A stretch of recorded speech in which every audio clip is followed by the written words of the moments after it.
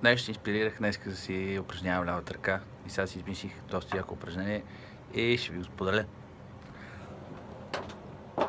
Имаме фраза между десен и лява, която звени на три.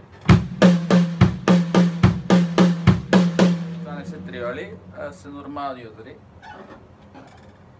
Ако искате ги мислете като 16 И тук имаме все едно че.